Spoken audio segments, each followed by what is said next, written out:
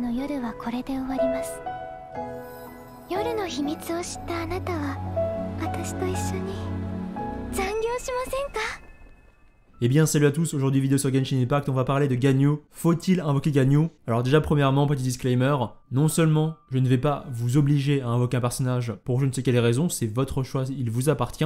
On va essayer de voir un petit peu les idées sur Ganyu, ce qu'elle pourrait présenter sur le jeu. Je tiens aussi à ajouter que tout ce que je m'apprête à dire est sujet à changement, on l'a bien vu avec d'innombrables personnages sortis auparavant. Ce que je dis peut changer, mais je pense qu'on a suffisamment d'informations à notre disposition pour se faire une idée globale du personnage qu'est Ganyu. Alors Ganyu, on a eu un très très beau trailer du personnage qui est sorti récemment et aussi elle a été officialisée dans le patch note avec ses compétences et aussi des visuels sur les compétences. Donc on va voir un petit peu ses stats de base, son kit, comment est-ce qu'on pourrait la jouer, comment est-ce qu'on pourrait la build, avec qui, comment, quel rôle elle pourrait avoir dans Genshin Impact, et on est parti. Alors Ganyu sera la première vraie archère 5 étoiles sur le jeu. Alors on avait Venti mais Venti et on n'est pas vraiment là pour viser avec lui, pas vraiment là pour tirer avec lui. On est là surtout pour mettre la compétence élémentaire et le déchaînement. Et au final, Ganyu pourrait potentiellement être la première main DPS, en tout cas avec un vrai gameplay à l'arc 5 étoiles. Mais c'est au sujet à débat aussi parce que beaucoup de gens pensent que bien Ganyu ne pourrait être qu'un support finalement. Donc on y va. Alors Ganyu, comme je vous l'ai dit, Cryo, niveau HP on avoisine les 9800, ce qui est plutôt bas. C'est plutôt bas. Euh, niveau attaque, par contre, on a 335 et ça, c'est excellent. C'est autant, par exemple, que Diluc. Donc, c'est vraiment beaucoup d'attaques de base, énormément d'attaques de base. Donc, c'est excellent pour Ganyu. On a 630 de défense, c'est aussi relativement bas. Et aussi, on a un éveil en dégâts critiques. Ce qui veut dire en fait qu'au lieu d'avoir 50% de dégâts critiques, comme tous les personnages, excepté Coaching et autres, eh bien Ganyu aura 88,4 dégâts critiques au niveau 90. Donc elle gagne 38,4% de dégâts critiques et le TC par contre reste inchangé. Pour l'ascension, elle aura besoin de nectar léger, de nectar miroitant, de nectar élémentaire, évidemment de duramen de glace, des fragments de jade, ça c'est impératif. Elle aura aussi besoin de fleurs de Kingshin. Et bien sûr aussi les moras, ça c'est l'habituel. Alors maintenant on va un peu parler du coup de son attaque normale, de ses sorts, compétences élémentaires, déchaînement élémentaire. Donc l'attaque normale c'est 6 attaques à la suite consécutives avec un arc. On va prendre au niveau 10 des dégâts. Donc on, on voit qu'on est entre 63%, 70%, 90% et 113% pour le dernier coup, le sixième coup. C'est relativement faible pour un archer, c'est même très faible je trouve. Si on compare par exemple avec un compère 5 étoiles archer comme Tartalia, eh bien je trouve ça très très faible. En attaque chargée, on a 223% au niveau 10, c'est pareil que Tarta par exemple, donc ça jusque là on est ok. Et aussi la particularité de Gagno, et c'est du coup la première fois que ça a été que c'est mis en place dans le jeu, c'est qu'en fait on peut avoir plusieurs Niveau de charge, on a la charge normale qui va tirer une flèche qui inflige des dégâts cryo, donc qui sera aussi cryo. Et si on maintient un petit laps de temps en plus, eh bien on a la deuxième charge. C'est pas vraiment long en soi, c'est pas on va dire une double charge à faire, c'est deux charges mais une qui met beaucoup moins de temps à arriver que l'autre et qui va non seulement toujours infliger les dégâts cryo, donc ça va faire 230% de dégâts au niveau 10 sur les 223%, mais en plus ça va au toucher au contact exploser et faire ce qu'on appelle une AOE et qui infligera du coup 391% des dégâts en zone. Et en plus, ça va retoucher la cible qui était touchée initialement. Donc ça va faire en sorte que Ganyu va pouvoir tirer sur un ennemi avec une charge x2. L'ennemi va être touché, prendre des dégâts cryo, et ensuite une zone supplémentaire va affecter tous les ennemis en zone et va infliger à nouveau des dégâts cryo et qui ont un très très très gros scaling. Donc c'est pour moi très très fort et Ganyu fera du coup beaucoup de dégâts avec cette flèche là. Et puis aussi, on a l'éternelle attaque plongeante. Donc pour moi, si Ganyu doit jouer main DPS, c'est avec ce skill-là, mais on en reviendra un peu plus tard. Ensuite, on a la compétence Trace de Kilin. Qu'est-ce que c'est? En gros, Ganyu va déposer un lotus qui va faire des dégâts. Quand il va être posé, va générer deux particules de glace à Ganyu, qui va aussi appeler l'état cryo parce que ce sont des dégâts cryo. Et aussi, ça va faire en sorte que Ganyu va battre en retraite, va faire ce qu'on appelle un backdash, un désengagement, pour s'éloigner un peu des ennemis. Le Lotus, le Lotus au niveau 10 aura 216% des points de vie de Ganyu, cependant, eh bien Ganyu a peu d'HP de base, et aussi, il va exploser au bout de 6 secondes et infligera 237% des dégâts en dégâts cryo, et le cooldown est de 10 secondes. Voilà, donc c'est, je vous rappelle, on met le Lotus, on génère deux particules, on inflige des dégâts AOE cryo, ça fait en sorte que Ganyu désengage, Ensuite, le Lotus, il explose au bout d'un certain temps, au bout de 6 secondes, ou alors si on le détruit, et inflige du coup des dégâts cryo aux ennemis aux alentours. En plus, quand il explose, il reconfère deux particules à Gagnou et aussi a pour caractéristique d'attirer les ennemis et ça sert comme appât, comme par exemple eh bien, le leurre de Mona, c'est un leurre en soi. On a ensuite l'ulti, le baptême céleste.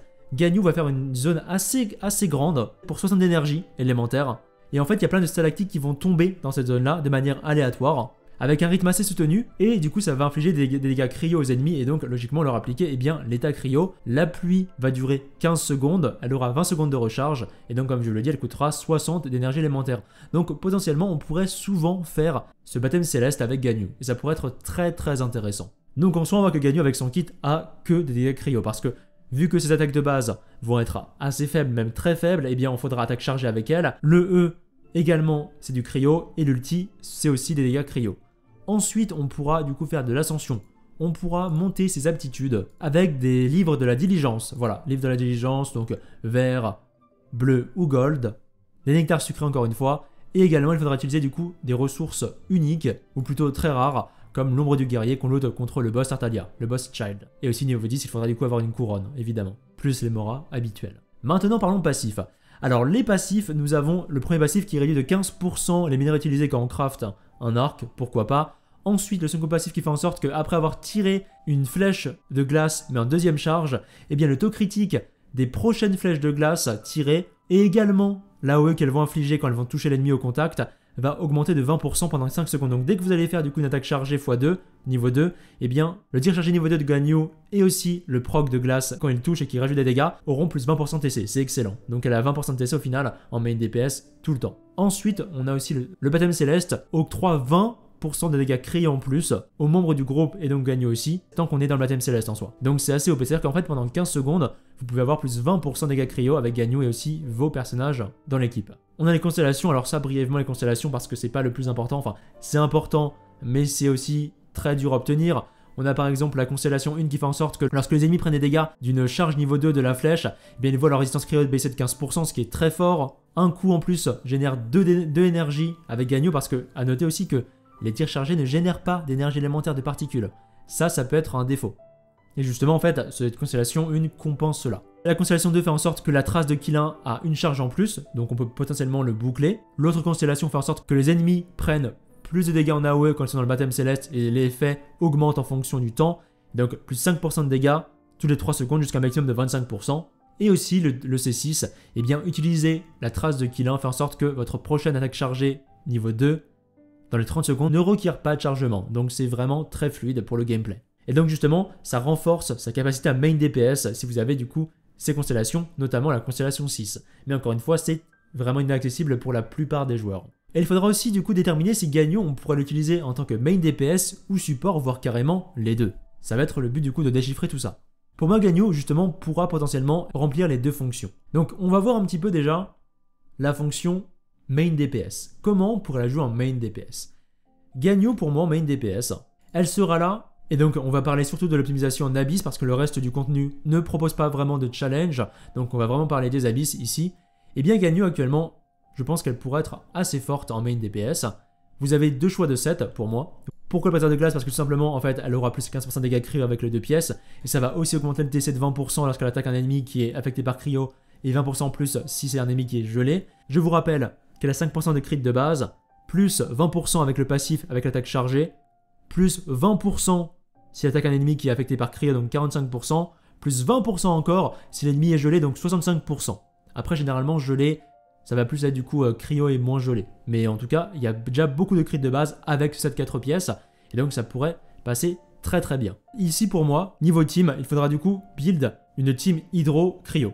Une team qui va se baser sur le contrôle, donc la maîtrise élémentaire ne sera pas nécessaire vu qu'en fait c'est le gel qui va être appliqué, le gel ne fait pas de dégâts, donc en fait ça va permettre à Ganyu de faire double cryo pour avoir le bonus du coup de résistance élémentaire qui va augmenter le TC de 15% lorsqu'elle tape une cible qui est cryo ou gelée, et en plus du coup de contrôler l'ennemi et faire beaucoup de dégâts en AOE si les ennemis eh sont contrôlés au même endroit, avec du coup la charge niveau 2 de la flèche de Ganyu. Il n'y aura donc pas de réaction élémentaire offensive, mais plus du contrôle, donc par exemple moi je prendrais bien de cryo, donc Ganyu, on pourrait prendre avec eh bien Chichi, Diona pour les soins, je préfère Diona pour le coup à Chichi ici, Ganyu plus, plus Chichi, et ensuite on prend un hydro, on pourrait prendre Xingshu, on pourrait prendre Mona qui pourrait du coup mettre un double leurre, ça peut être intéressant, même si Xingshu est réputé comme étant le meilleur support hydro pour l'instant. Et puis en dernier, eh bien c'est votre choix. Vous pouvez soit prendre Bennett, mais en fait Bennett peut enlever eh l'état cryo. Vous pouvez aussi prendre Sucrose ou n'importe quel en fait personnage Anemo avec un set 4 pièces Viridescent qui peut justement baisser la résistance élémentaire de 40% en faisant une dispersion avec l'état cryo et donc faire en sorte que Ganyu fasse encore plus mal. Donc par exemple, une team comme ça, ça serait Ganyu, Diona, Venti, Xingshu. Venti peut être remplacé par Jane, par Sucrose, euh, Xingshu peut être remplacé par Mona par exemple. Voilà, tout simplement. Une idée de team ici.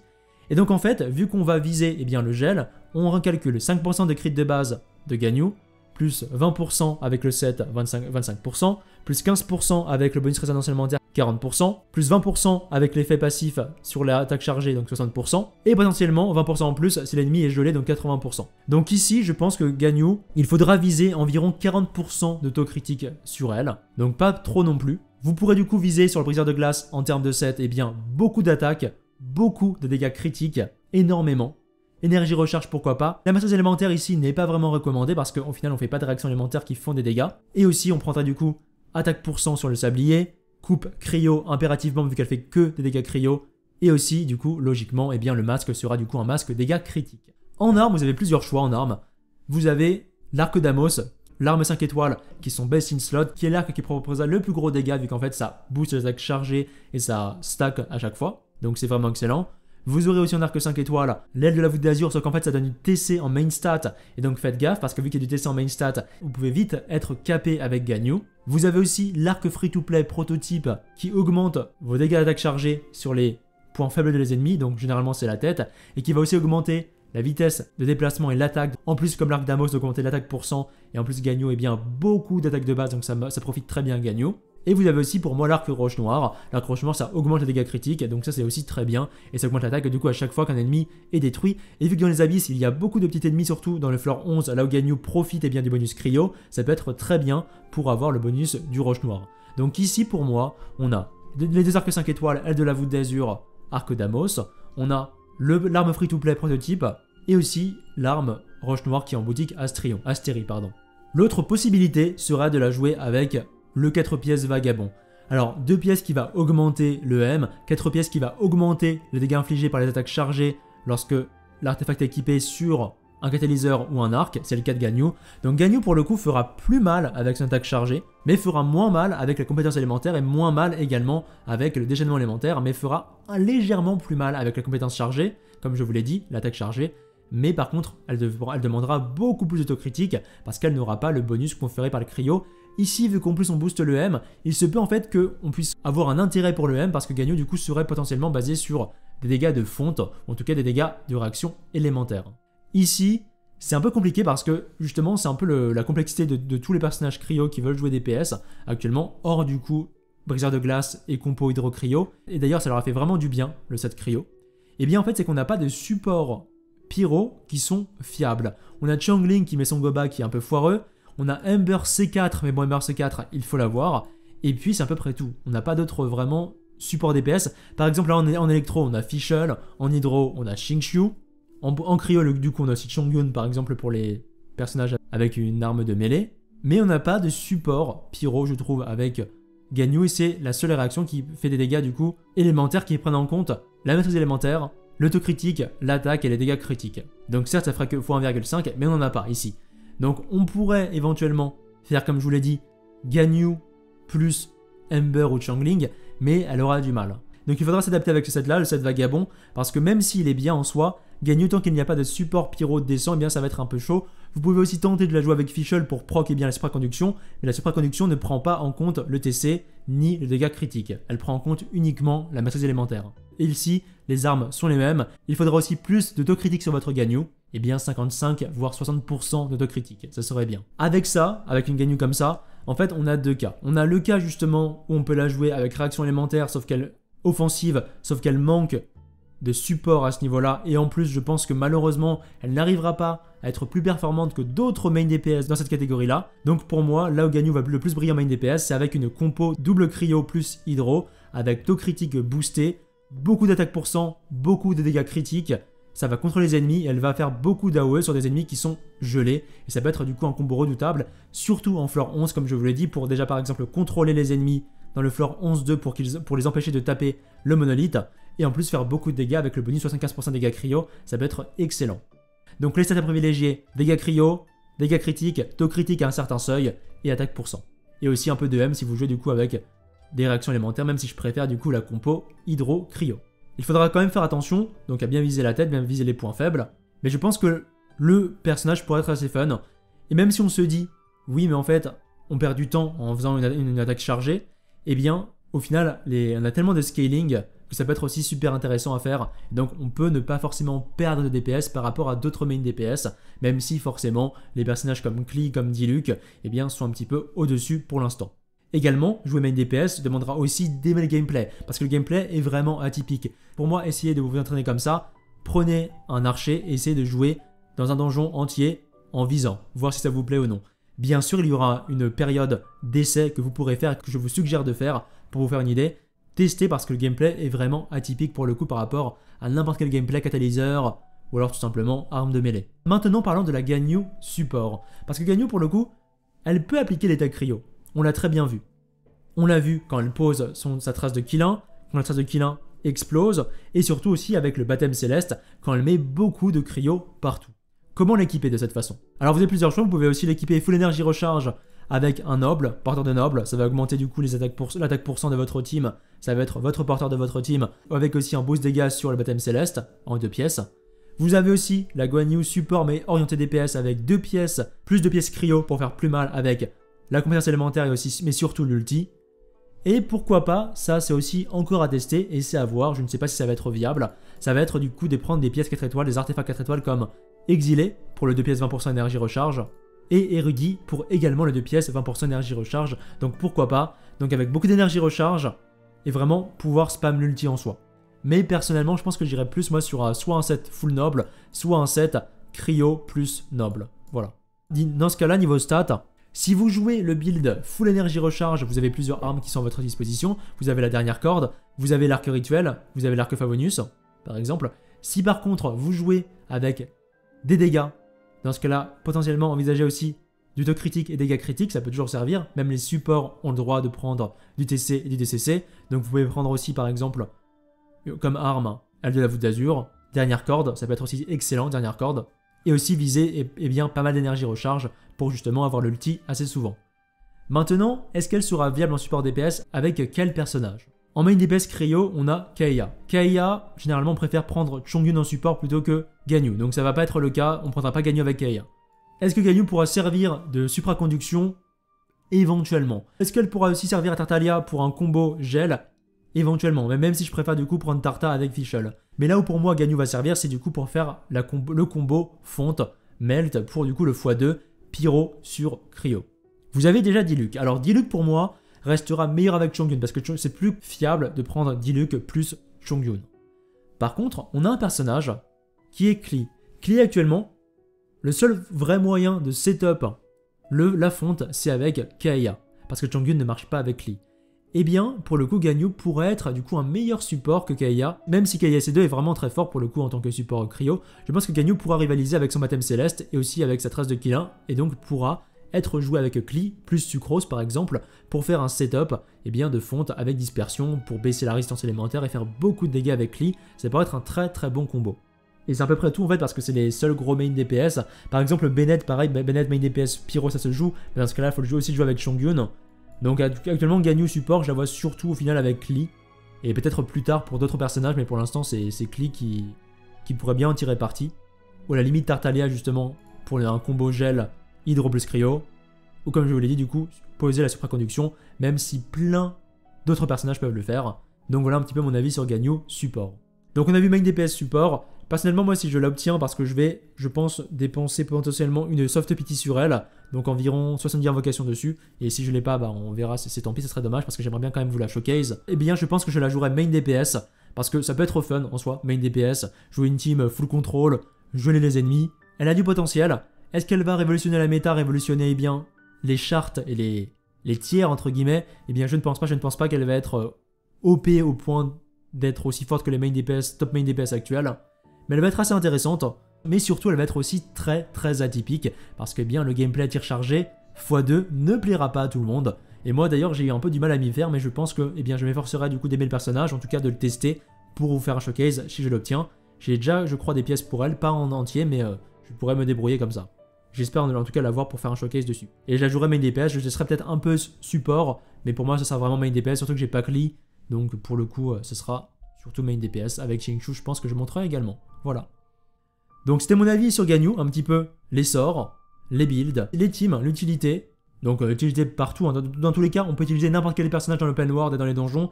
Et les abysses, il faut optimer, vu qu'en fait il y a un bonus de cryo en 11, eh bien c'est parfait pour Ganyu, main DPS en tout cas, et même support finalement.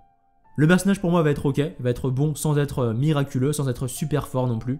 Donc voilà, si vous n'avez pas besoin à mon avis d'un personnage qui va révolutionner tout le jeu, eh bien n'allez pas forcément choper Ganyu.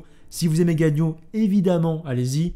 Si vous aimez le gameplay tir chargé, évidemment, allez-y. Et sinon, si vous économisez pour Xiao ou autre, eh bien, économisez bien sûr.